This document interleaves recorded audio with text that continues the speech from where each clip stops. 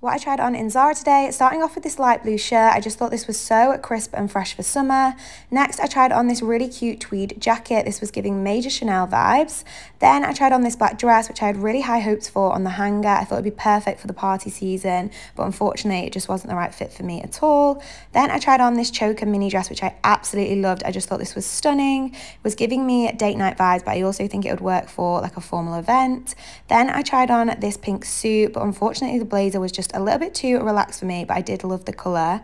Next, I tried on this Unreal suit. Absolutely loved the colour of this one, and the blazer was a lot more structured. The trousers were also a really good length and fit really well. Finally, I tried on this high neck top and skirt combo. Absolutely loved these together and thought I'll get so much wear out of them as separates as well. They were a little bit too big, so I'm going to pick them up in the smaller size.